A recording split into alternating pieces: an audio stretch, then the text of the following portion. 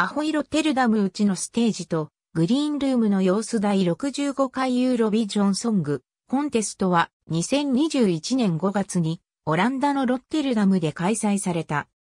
イスラエルのテルアビブで開催された2019年の大会でオランダ代表のダンカン・ローレンスが優勝したことにより、オランダが大会の主催を獲得したが、2020年に新型コロナウイルス感染症の流行により開催が見送られ、1年後の2021年の開催となった。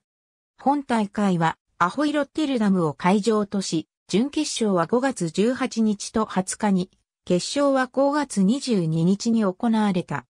本大会には、ブルガリアとウクライナが復帰し、前回大会に出場したハンガリー、モンテネグロ、アルメニアとベラルーシを除く39カ国が参加。大会の結果、イタリアのロックバンド、モーネスキンのジッチ・イー・ブーニが優勝した。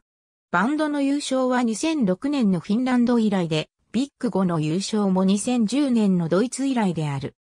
一方、決勝で主催国のオランダを含む4カ国が視聴者から得点をもらえず、うちイギリスは審査員からも得点をもらえなかった。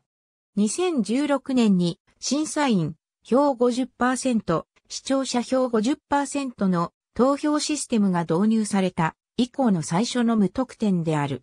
欧州放送連合によると視聴者は約1億8300万人で前回よりやや増えた。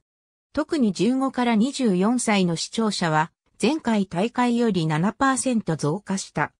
2020年5月16日、エブとオランダ現地の放送局は開催地をロッテルダムのアホイロッテルダムにするとの合意に達した。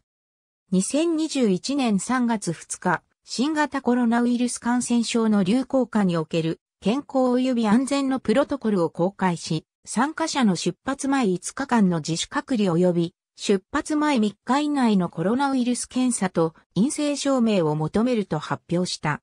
2020年10月26日時点で2019年大会に不参加だったブルガリアとウクライナの参加が確認された一方、ハンガリーとモンテネグロが不参加となった。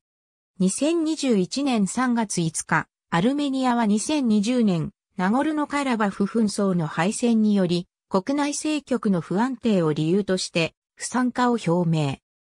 また、ベラルーシの参加者の曲には2020年、ベラルーシ大統領選挙の結果に反対する人たちを揶揄したり、ルカシェンコ大統領を称えたりする歌詞が入っているため、大会のルールに反するとして2021年3月26日に大会側から参加資格を取り消された。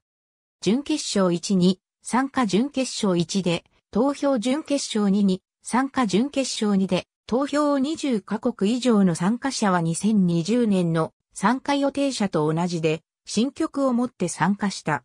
また、この大会は、特例として、史上初のバッキングボーカルの事前録音が許可される大会である。ベラルーシは、撤退前、くじ引きで準決勝1の前半に決められた。アルメニアは、撤退前、くじ引きで準決勝2の後半に決められた。ありがとうございます。